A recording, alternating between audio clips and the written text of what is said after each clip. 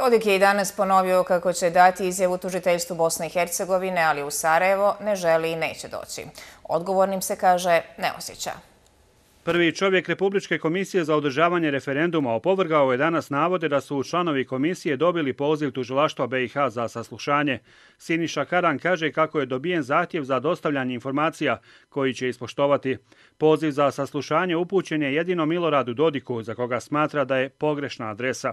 Predsjednika Republike nema u procesnom smislu. On je više djelovao kao predsjednik Republike, dao političku podršku jednom takvom procesu i ne samo on, nego svi u Republici Srpskoj, apsolutno svi, pa po tom osnovi mogli dobiti taj poziv, ako je uopšte ovaj, taj poziv upućen, mogli dobiti svi. Dakle, bez, po meni je potpuno formalno pravno sa tog njihovog aspekta bespredmetno poslati poziv predsjedniku Republike. Milorad Dodik ponovio je danas da ne želi doći u tužilaštvo u Sarajevo radi medijske pompe, ali da ostaje pri stavu da je spreman dati izjavu na području Republike Srpske.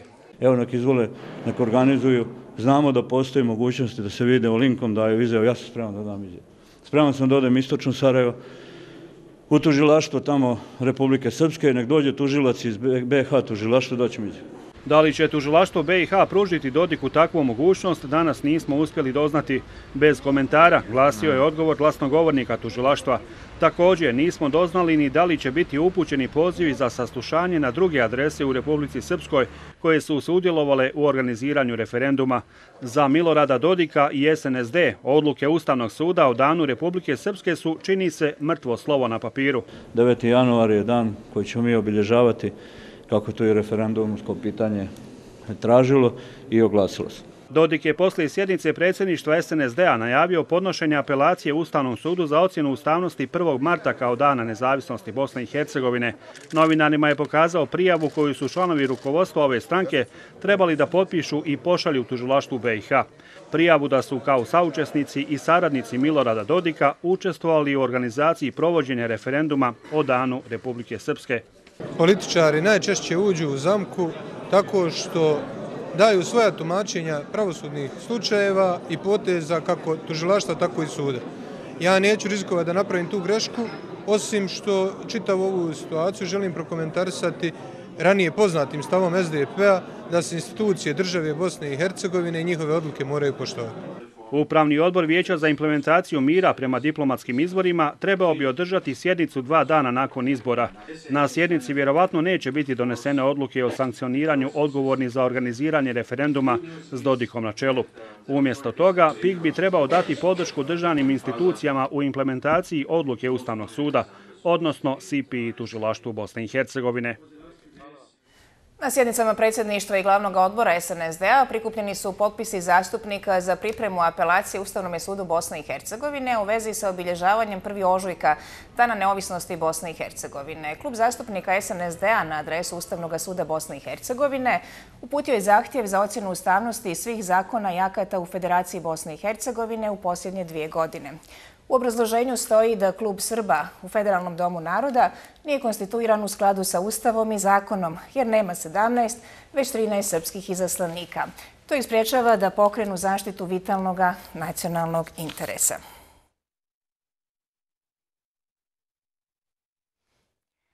A MUP kantona Sarajevo odbio je zahtjev za održavanje prosvjeda pred zgradom tužiteljstva Bosne i Hercegovine u ponedeljak 3. listopada, koji je podnijela organizacija porodica zarobljenih i poginulih boraca i nestalih civila Republike Srpske.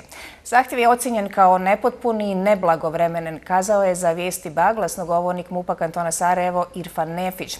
Ukoliko se obrate, obrate novim zahtjevom, ponovo će biti razmotren, pojasnio je Nefić. Organizacija je uputila i zahtjev za odobravanje prosvjeda zbog poziva tužiteljstva na saslušanje predsjednika Republike Srpske Milorada Dodika, a u vezi sa održavanjem referenduma o danu Republike Srpske. Iz organizacije porodica zarobljenih i poginulih boraca RS-a odgovaraju da će unatoč zabrani doći na prosvjede.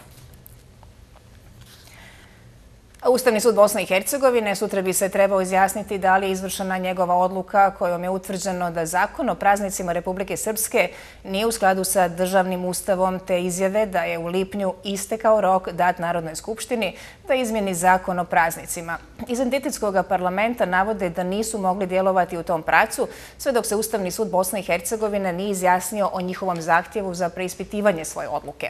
Zaključuju da su poduzeli niz mjera koje će u konačnici konačnici rezultirati upućivanjem izmjene zakona o praznicima u Skupštini. Klub Srba u Federalnom domu naroda nije konstituiran u skladu sa Ustavom i zakonom, kazao je to za vijesti.ba predsjednik ovoga kluba Slaviša Šućur. Obrazlaže to presudom Federalnog ustavnog suda s kraja prošle godine, koji je kazao da kvota za izračun većine nije većina izabranih, nego da se traži puna većina. Time je postalo jasno da je to tumačenje različito od onoga koje je davao visoki predstavnik, pojasnio Šućur.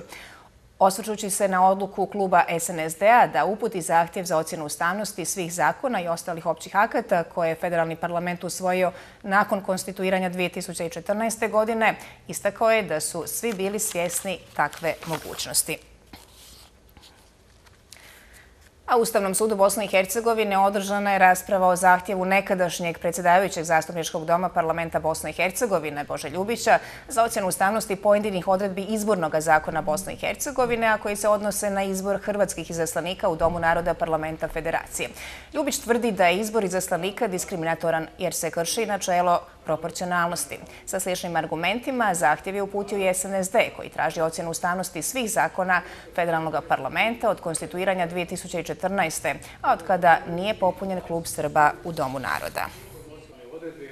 Iz osobnog iskustva mogu se iz prve ruke kako je i funkcionalnost sustava povjerenje prema institucijama i međusobno povjerenje između predstavnika konstitutivnih naroda bilo daleko bolje prije nametnutih promjena ustava, entiteta i izbornog zakona BiH, odredbe koje usporavam u ovom zahtjevu, nego nakon toga.